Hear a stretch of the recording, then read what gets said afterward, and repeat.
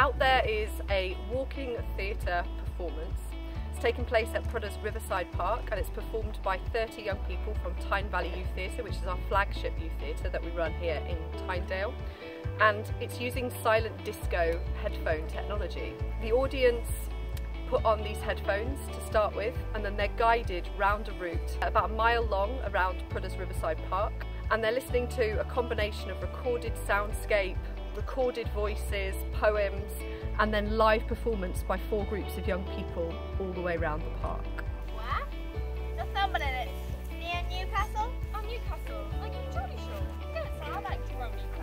Yeah, you sound a bit too posh to be on Geordie Shore. It's not like Geordie Shore.